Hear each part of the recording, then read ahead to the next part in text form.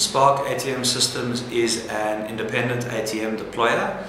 We, we deploy uh, ATMs into convenience locations countrywide, retail, wholesale and uh, leisure hospitalities. Uh, it's the smaller ATMs that you find inside the premises. We basically install the machines and ensure that all the benefits of the machine in terms of the uh, in increased cash drawn from the machine, uh, and offering consumers safe and convenient access to their cash on site, these benefits all flow back to the merchant in the form primarily of increased spending on the premises, savings on their cash deposits, um, rebates, um, additional branding and advertising opportunities, as well as savings on their merchant credit stroke debit card terminals.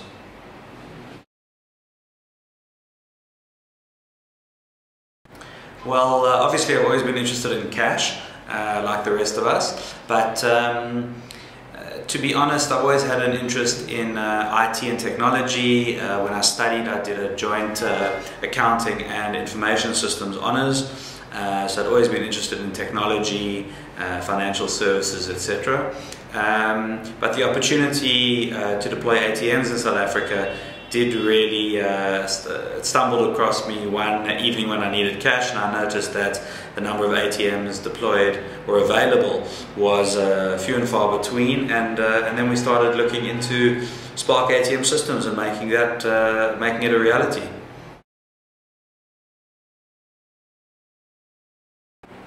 Uh, a business colleague of us actually suggested that we enter the competition because he'd entered it in uh, in previous years primarily, uh, I think twofold. One was the uh, the possibility of winning and the accolades of, of uh, which that brings for a young business that was um, pretty exciting, and also the opportunity to benchmark our business. The whole application and interview process is very thorough, and it gives you a great opportunity to benchmark your systems, your processes, your people, um, your finances, your controls, uh, and uh, that's basically the reasons why we entered.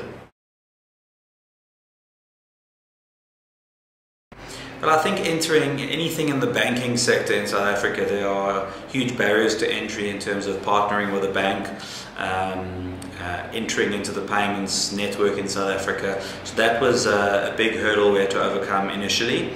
Um, and I think then typically the um, the normal hurdles around starting a business, primarily funding in the early days. We didn't receive a huge check from an angel investor or a venture capital fund. Um, so funding the business initially was um, very tight, but it taught us some good disciplines which uh, we've implemented in the business. Um, and then the lead times. You often think things are going to take quicker than they do, and in reality, uh, things take a while, at least uh, two to three times longer than you'd expected. Um, so uh, those were some of the initial hurdles in the, in the business in terms of getting, getting, getting going.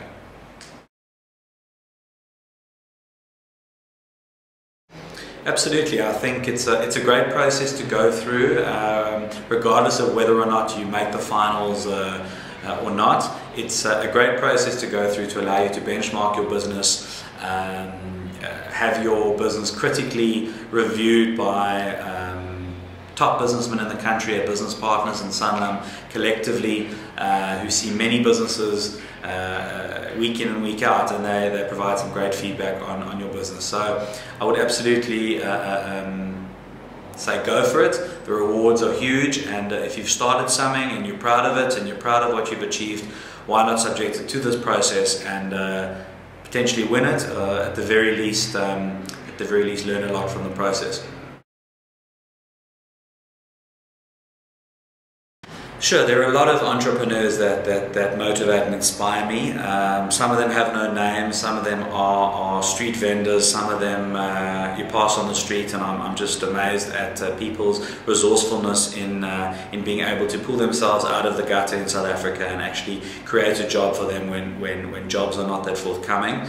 Um, but more formally, there are two companies that, that I follow very closely and that for me um, are, uh, play a huge role in terms of uh, being role models for me. There are two South African companies, uh, namely Naspers um, and their uh, inspirational CEO Koos Bekker, um, and Discovery uh, Holdings and, uh, and, their CEO Adrian Gore. Both of these companies um, um all although they are huge and are public companies and have achieved so much, they continue to innovate and reinvent themselves uh, every week, every month. Um, there's huge innovation in these organizations.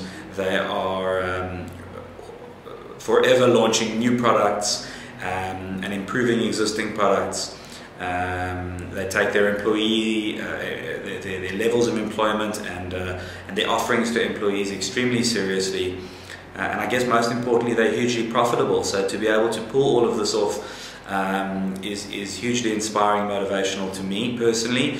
Uh, and there are companies that I follow very closely and that uh, indeed if Spark ATM systems can one day achieve uh, any, any, anything close to their lofty heights, we'd, uh, we'd be very be very fulfilled on the side.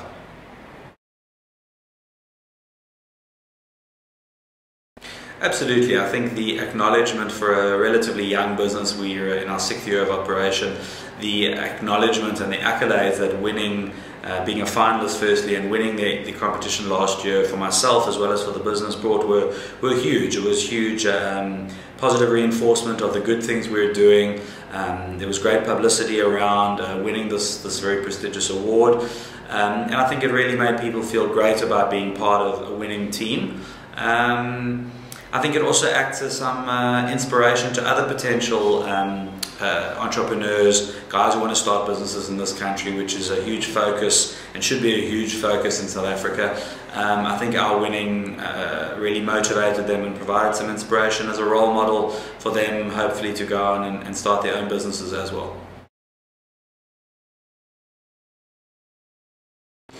Um, our particular sector has become a lot more competitive uh, today in 2012 than it was when we started doing this in 2006. Um, the banks have uh, definitely turned their attention to our sector of the market, which is the lower volume uh, convenience sector of the market. Uh, so we are definitely competing with the banks, um, which is challenging. I mean, they have huge marketing budgets uh, and huge resources, but at the same time, we believe that we really deliver phenomenal customer service, which is something that we do, we believe we do a lot better than the banks. So um, it's encouraging when we come up against the banks and uh, more often than not win. Um, and I think a big issue in our country at the moment are the bombings, which are happening primarily to the street-facing ATMs.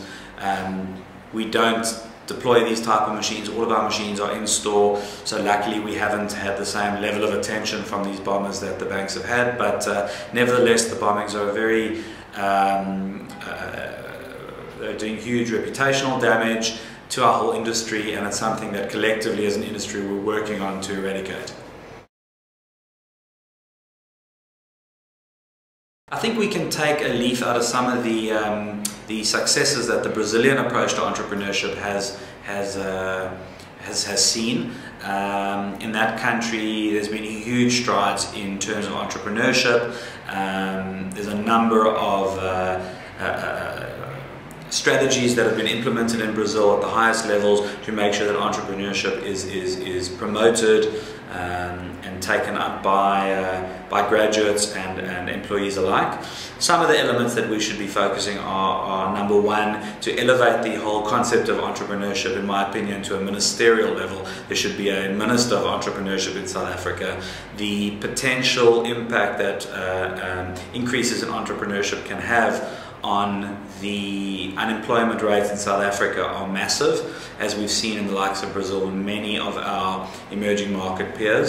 Um, so by elevating it to the top conversation in the country, you, you, you make it a, a, focal point in the economic and political debate, which is where it should be. Um, critically, I think also uh, there should be incentives. So there should be financial incentives to entrepreneurs to start businesses. Um, uh, in Brazil, they actually pay entrepreneurs for the first year or two while they're setting up the business, while they're going is tough. They actually the, the, government or provincial government actually pays uh, entrepreneurs uh, to ensure that they actually get out of the starting blocks. Um, Something else we could do in this country is set up a one-stop shop. When we started, I mean, the number of different ports of call you have to go to in South Africa to, to set up your business, register it for taxes and VAT and income tax uh, and the like is, is, is hugely time-consuming and uh, there's quite a lot of red tape still. So by setting up a one-stop shop um, to make life easier for, for startups of, uh, of any size, um, think that would uh, that would go a huge way.